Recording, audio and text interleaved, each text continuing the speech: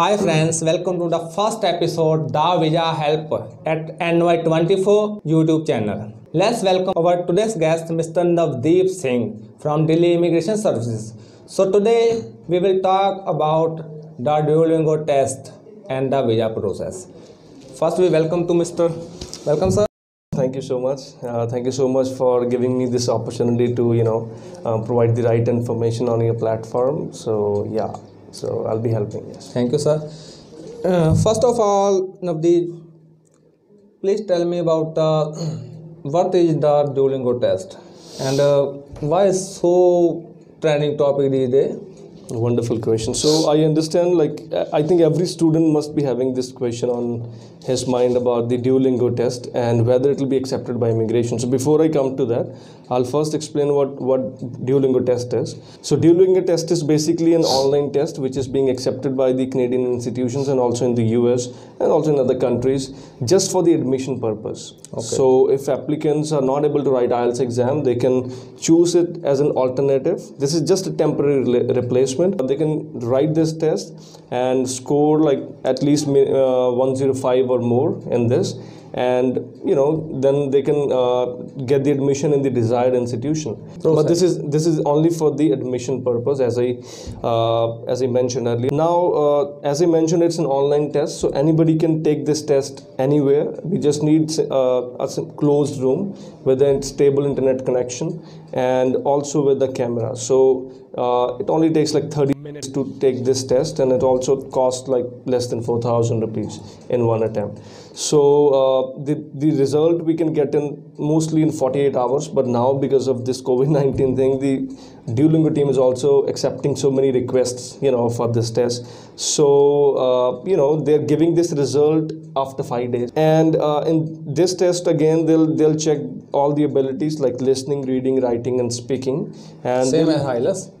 Same as IELTS and but as for uh, because it's an online test so there'll be a video recording as well which will be done during the test. The applicant will be asked to record the speech and which will further be reviewed by the evaluator.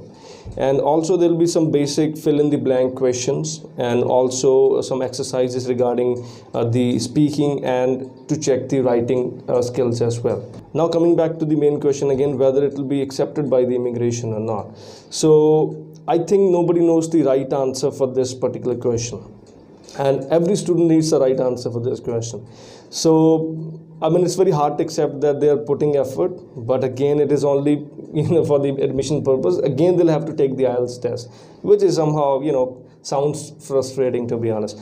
But uh, so far, there are two aspects to it. One is we stick to that fact that it is only for the admission purpose, and we will have to write the IELTS test again afterwards. You know, or the other side is some consultants are saying okay this this uh, you know the colleges have started accepting this test only after the consultation with the high commission.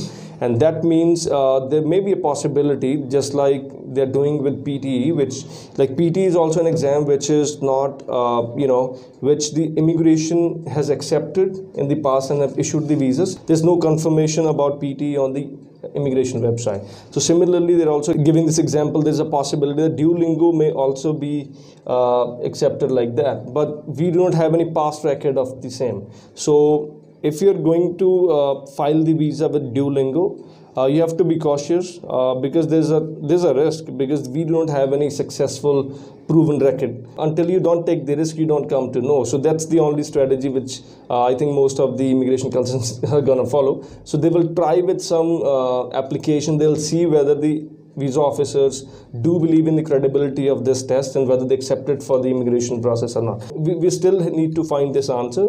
It will take some time, but the immigration has already started processing cases, so we'll, we'll I think we'll find the answer for this question very soon.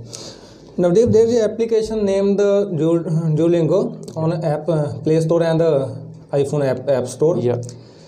Did they take the test through mobile? And please tell us the what are the basic requirements to take part in this test. Great question. This this test can only be taken using uh, a PC or laptop. You, uh, students cannot take this test on a mobile phone or uh, tablet. You know, so we need a closed room. We need a uh, webcam. We need a stable internet connection. and some of the policies of this test is uh, the students cannot look around you know the uh, the cursor shouldn't leave the browser and uh, yeah these are the basic requirements. I mean you know it shouldn't be like we i mean they'll be evaluating the entire uh, conversation and entire video very meticulously. So uh, these are the basic policies. Like we shouldn't be looking around and you know as i mentioned the cursor shouldn't leave the browser. They need to ensure that the applicant is not cheating. Yeah. Nadeep, as you know that uh, there are many uh, in many countries there are poor internet connection. yeah If the connection disconnects, the uh, test will stop.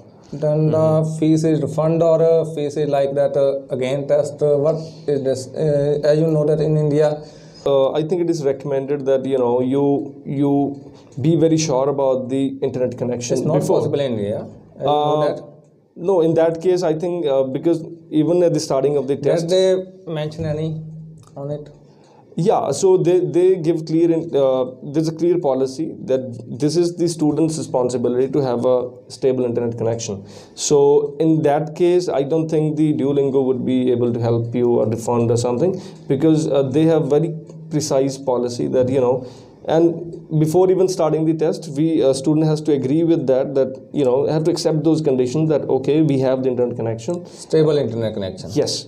So uh, I, I don't think there would be any refund or something. If student has any particular situation wherein you know he's being uh, treated unfairly so he can contact the duolingo customer service. So the another question which is uh, you know making rounds is uh, about the May intake you know. Because it's covid-19 a lot of students were supposed to join or start their classes in May intake but because of covid-19 they couldn't travel because the international travel is suspended. Now the ircc has come up with some update. They've already published on their website those students can still join online classes and there won't be any you know impact on the pgwp conditions which means uh, if the colleges agreeing to providing online classes because there are certain programs which you know which are let's say some workshop programs which cannot be taught online. So other than those programs if, if some programs are offered online and they're feasible enough the college can uh, provide the online classes and student can start the classes from sitting you know while sitting in india or while in their home country.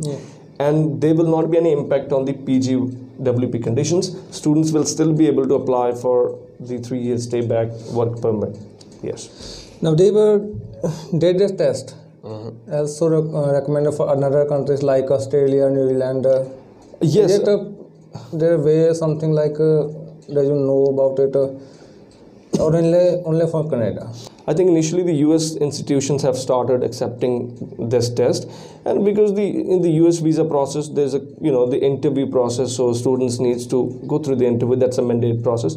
So I think for for the U.S. student visa, it is pretty much feasible because anyway the visa officers would be able to uh, check the English language proficiency of the student in the interview. So yes, it is also accepted in other countries other than the U.S. But I think most of the uh, U.S. Uh, institutions are accepting the Duolingo. Yes.